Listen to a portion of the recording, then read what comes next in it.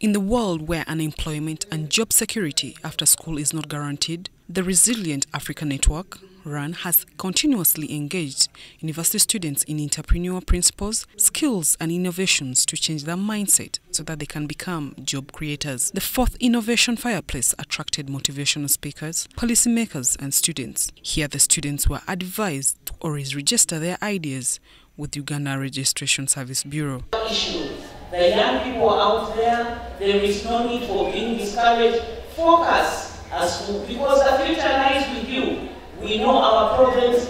We must make Uganda a better place, a more comfortable place, using our technology around us. The students were involved in innovation fireplace sessions that provided them with opportunity to interface with notable entrepreneurs, managers of top brands, among others, to update students on the latest projects that, that satisfy community needs. Up with ideas and make products to the final stage, but we find it hard to get market for them. The registration of, of copyrights, patents, and then the business, is it free of charge? You're supposed to register your idea.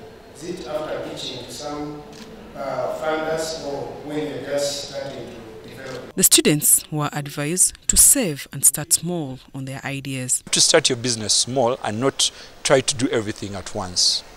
And this is the main takeaway that at least the youth were given today. And we also gave them a lot of mentorship opportunities that they can come for. Uh, they are through the government of Uganda, they are through RAN, and a number of other organizations. Resilient Africa Network has supported over 300 that strengthens the resilience of vulnerable communities using innovative evidence-based approaches developed in collaboration with uni- university students and the community. Zahara Bigaba, UBC.